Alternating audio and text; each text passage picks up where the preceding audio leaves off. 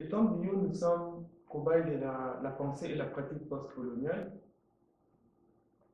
à Kinshasa ou partout ailleurs.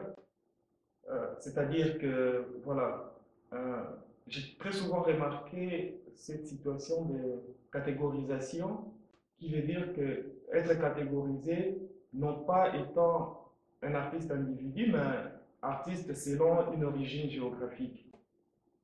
Mais voilà, nous, par exemple, parce qu'on commence à, notre réflexion commence à, déconstruire toute cette situation, par exemple dans les co-signatures, dans les travaux, soit dans la peinture, dans la vidéo ou l'installation, performance.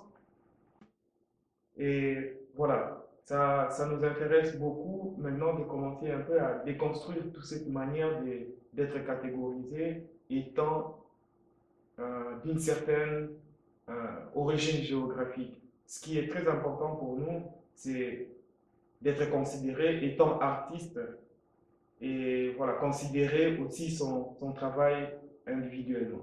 On fait aussi comme une collaboration décoloniale qui nous amène à, une pluralité épistémologique, euh, qui veut dire qu'on a plusieurs perspectives, on mélange des styles et les, les traditions artistiques de, nos deux cultures. Ça fait que, on peut faire une collaboration décoloniale. On est capable maintenant aussi de déconstruire des hiérarchies qui sont qui existent dans le monde postcolonial, qui existent dans le monde de l'art contemporain, euh, qui veut dire par exemple que euh, la définition de l'art occidental qui domine le marché de l'art. Euh, mais voilà, à, travers cette collaboration décoloniale, euh, on peut fonctionner sans euh, être forcément hiérarchisé directement selon notre origine géographique.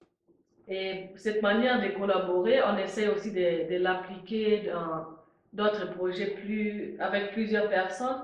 Et là, on est beaucoup inspiré aussi à, par des stratégies artistiques des, artistes populaires de Kinshasa, donc par exemple les, peintres populaires ou les bédistes populaires, qui ont développé des, des, manières de travailler qui fonctionnent très proches avec leur public. Donc c'est un échange direct entre public et, et artistes et voilà, c'est ce qui nous inspire beaucoup, de travailler avec notre public, de réagir aussi à notre public, de, les propositions de notre public dans le travail.